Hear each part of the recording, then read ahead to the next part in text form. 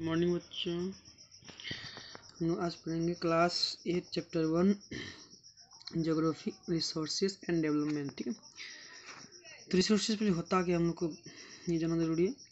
Resources क्या होता है? एनी ऑब्जेक्ट या सब्सटेंस लिविंग या non living that has utility ये कोई भी वस्तु लिविंग हो सकता है या फिर नॉन लिविंग जिसमें यूटिलिटी होती है, ठीक है? उसे हम कहते हैं रिसोर्सेज और यूटिलिटी क्या होता है? जिसे हम, जिसकी हमें उपयोगिता होती है, जिसकी हमें ज़रूरत होती है मतलब हमें जिसको यूज़ करना मतलब उसके लिए हमें आवश्यकताओं की पूर्ति के लिए हम यूज़ करते हैं इसको, ठीक है?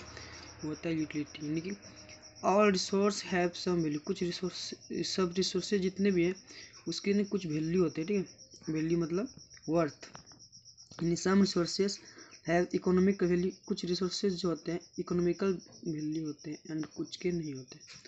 दोनों ही बहुत महत्वपूर्ण हैं और मानव की आवश्यकताओं को सेटिस्फाई करती है, ठीक है?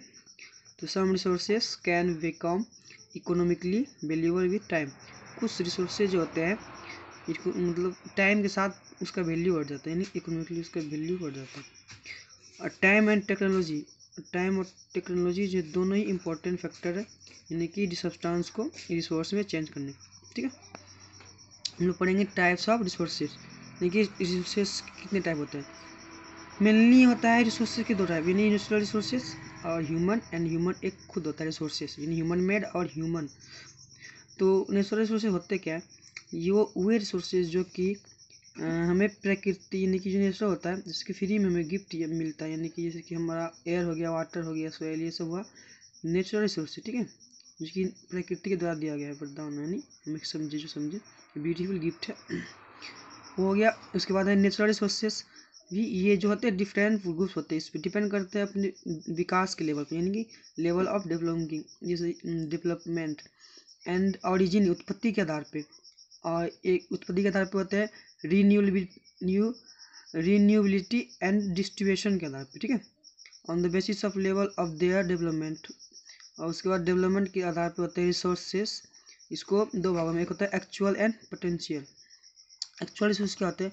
जो एक्चुअल में है प्रेजेंट में, ठीक है? वो होता है एक्चुअल रिसोर्सेज और पोटेंशियल मतलब होता है वो रिसोर्सेज जो कि मतलब अभी पता नहीं है, जब फिर भविष्य में उसका यूज़ होता है, यानी कि वर्तमान में उसका यूज़ नहीं कर सकते, उसका यूज़ फ्यूचर में कर सकते। उसके बाद बेसिस ओरिजिन के आधार पे, यानी उत्पत्ति के आधार पे रिसोर्सेज जो होते हैं, वो होते हैं बायोटिक और एबायोटिक तो बायोटिक क्या होते हैं, वो रिसोर्सेज जो कि जिसमें कि लिविंग थिंग होता है, जैसे कि प्लांट्स एंड एनिमल ये बायोटिक रिसोर्स में होते हैं और एबायोटिक में होते हैं नॉन लिविंग थिंग जिसकी मान लीजिए सोयल रॉक एंड मिनरल्स ठीक है? उसके बाद होते हैं, अब पढ़ते हैं आगे नेचुरल रिसोर्सेज क्या होते हैं? बेसिस ऑफ़ रीन्यू रीन्यूएबिलिटी यानी कि नवीकरणिक, नवीकरणीय resources natural resources can be categorise into renewable and non renewable ठीक है? तो रीन्यूएबल क्या होता है? वो रिसोर्सेज जो कि हमें दोबारा से यूज़ उसको कर सकते हैं, जैसे कि वाटर ठीक है? सोलर एंड वाइन एनर्जी ये कभी खत्म नहीं होने वाले हैं, इसका रिन्यूएबल होते रहता है, यानी कि सोलर एनर्जी सौर ऊर्जा हो गया वाइन एनर्जी मतलब हवा ठीक है? पवन इसके द्वारा हम अभी इलेक्ट्रिसिटी भी मतलब पवन, हवा के द्वारा पवन चक्की मिल होता है, उससे इलेक्ट्रिसिटी इलेक्ट्रिसिटी उत्पन्न होती है बिजली। और नॉन रिन्यूएबल क्या होता है? वो रिसोर्सेज जो कि लिमिटेड होती है स्टॉक में होता है। जो कि एक बार अगर ख़त्म हो जाता है तो उसको बनने में फिर हज़ारों साल लग जाते हैं, ठीक है? उसको बनना मुश्किल होता है, फिर बहुत टाइम होता है, इस तब तक हम लोग ज़िंदा नहीं रह पाएँगे उतना दिन। मतलब हम लोग का जनरेशन आगे इसका, अगर ये स्टॉक खत्म हो गया तो आगे यूज़ करने, जल्दी नहीं हो, बन पाएगा। जैसे कि कोयला हो गया, अब पेट्रोल हो गया, ये नेचुरल गैस ये सब हो गए नॉन रिन्यूएबल ठीक है?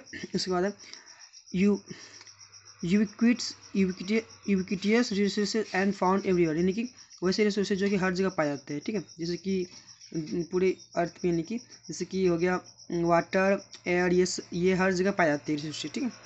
पूरे अर्थ पे। वो ये हो गया यूबिक्विटियस ठीक है? फिर होता है लोकलाइज रिसोर्सेज वो क्या होता है? जो कि एक सर्टन एरिया प्लेसेस में पाया जाता है, जैसे कि कॉपर एंड आयरन ये सब हो गया लोकलाइज्ड रिसोर्सेज यानी कि हर जगह नहीं पाया जाते, इसका कुछ मेन जगह खास होता है वहाँ पर पाया जाता है, ठीक है? तो distribution of natural resources depends on upon number of physical factor यानी कि जो डिस्ट्रीब्यूशन होता है नेचुरल रिसोर्सेज का, वो उस पर डिपेंड करता है। उसका फ़िज़िकल फैक्टर कैसा है, जैसे कि टेरन उसका कैसा है क्लाइमेट कैसा है उस जगह का एल्टीट्यूड कैसा है वहाँ पे, ठीक है, उसके आधार पे। फिर ये एक जगह मतलब जैसे होते हैं ना रिसोर्सेज हर जगह एक एक distribution of resources is equal यानी कि इक्वल नहीं पाए जाते हर जगह पृथ्वी पे ये रिसोर्सेज ठीक है? अलग अलग मात्रा में अलग अलग पाए जाते हैं। उसके बाद होता है ह्यूमन मेड रिसोर्सेज वो क्या होता है? The resources which are created from the natural resources by the human resources यानी कि जो ह्यूमन रिसोर्स होता है, वो ह्यूमन खुद, यानी कि अपने सुविधा के अनुसार बनाते हैं। यानी कि रिसोर्स को, वो करते हैं क्रिएटेड करते हैं। जैसे कि लाइक रोड्स हो गया, हम लोग रोड्स यूज़ करते हैं मशीनरी एंड व्हीकल्स ठीक है? ये सब हो गया ह्यूमन मैथ रिसोर्सेज ठीक है? इसके बाद है टाइम एंड टेक्नोलॉजी ठीक है? ये सॉरी टेक्नोलॉजी जो ये भी है ह्यूमन मेड रिसोर्सेज है, ठीक है? ये भी ह्यूमन के द्वारा ही बनाया गया। टेक्नोलॉजी जो हम यूज़ करते हैं अभी, ठीक है? और ह्यूमन रिसोर्सेज क्या होता है? Human resources refer to the number and ability of the people. People can make the best use of nature to create more resources when they have to knowledge. यानी कि अगर उसके पास नॉलेज है या skill है टेक्नोलॉजी तो वो खुद एक रिसोर्स है ह्यूमन भी एक रिसोर्स है, ठीक है? People are human resources people भी एक ह्यूमन रिसोर्सेज है.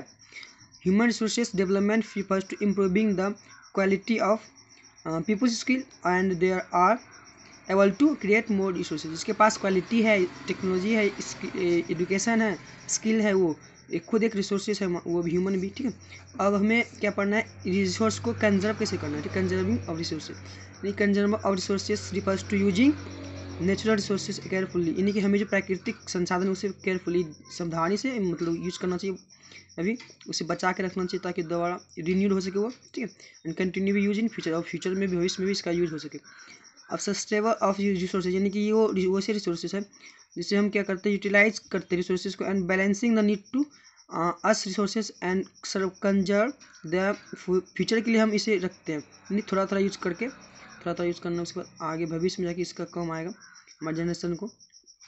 ये हमारा ड्यूटी यानी ये teach our duty ensure that all usages of renewable resources are sustainable ये हमारी ड्यूटी है कि सभी रिसोर्सेज को बचा के रखना ताकि फ्यूचर में हमारे जनरेशन को इसका मतलब मुश्किल ना हो जाए कि वो किसी रिसोर्स को यूज़ ना कर पाए।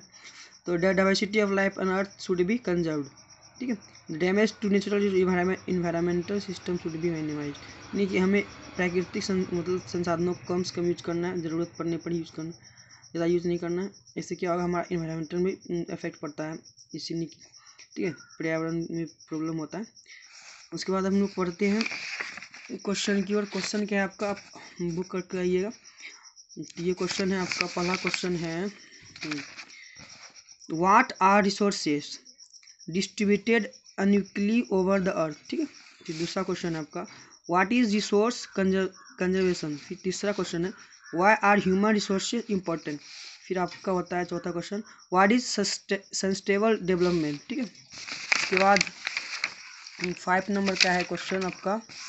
फाइव नंबर नहीं है फोर्टी क्वेश्चन इसमें ऑब्जेक्टिव में आता है। ठीक है? तो इसको आपका ये होमवर्क रहा और ये इसमें ऑब्जेक्टिव में which one of the following does not make a substance a resource option में है यूटिलिटी वैल्यू एंड क्वांटिटी ठीक है? फिर दो नंबर में है। Which one of the following is a human made resource option में medicine to create treat cancer spring water and tropical forest. फिर आपका है मेडिसिन टू चीट कैंसर, इसका आंसर आ गया। ठीक है। फिर है बायोटिक रिसोर्सेज क्या होते हैं? Derived from derived from human, derived from living things, made by human thing wings derived from non living things, उसके बाद थ्री नंबर में डिफरेंट बिटवीन द फॉलोइंग। यानी कि पोटेंशियल एंड एक्चुअल रिसोर्सेज में आपको डिफरेंट करना है और एबाइटिक्स एंड लोकलाइज रिसोर्सेज में डिफरेंट करना है। ठीक है। अब लोग आपका होमवर्क रहा ये। ठीक है गुड बाय।